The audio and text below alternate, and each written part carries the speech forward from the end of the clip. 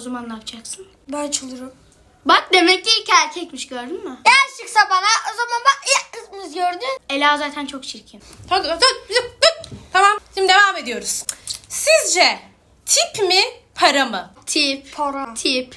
Para. Tip. Arda düşün. Tipi var ama parası yok. Parası Para. var ama tipi var. Ne yapacaksın? Peki bir insanın ilk önce dış görünüşüne mi bakarsınız, iç görünüşüne? İç görüşüne. Dış. İç. Dış. İç. İnsan böbreklerine mi bakılır? İç güzelliğine bakılır. İşte böbreklerine mi bakılır? Arda kalbi temizse zaten iç görünüşü güzeldir.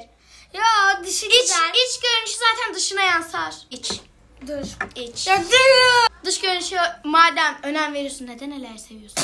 Ela'nın kalbi temiz. Eee iç görünüşü oluyor. Ela güzel çünkü. Belki kızın içi temiz de dışına yansımış.